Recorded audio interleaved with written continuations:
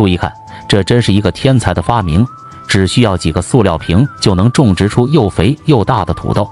这样的种植方法不仅节省了大量的人力、时间成本，而且一个塑料瓶就能量产几十斤，真的太棒了。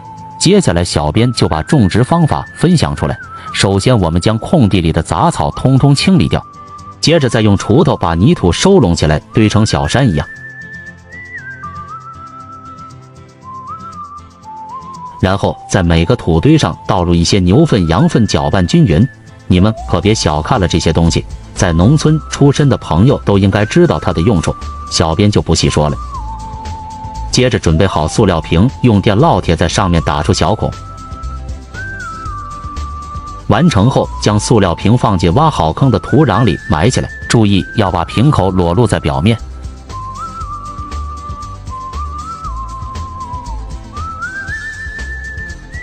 随后给每个瓶子加满自来水。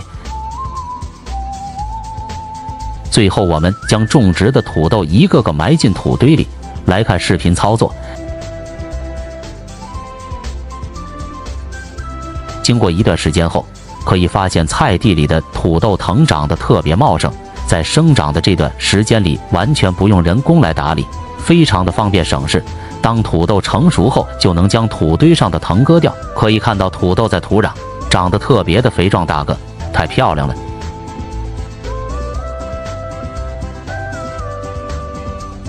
平时在家有事忙不开时，用这种方式种植特别的省事。根本不需要大量的时间管理，老铁，你们喜欢这样的方式种植吗？有喜欢的请点赞关注。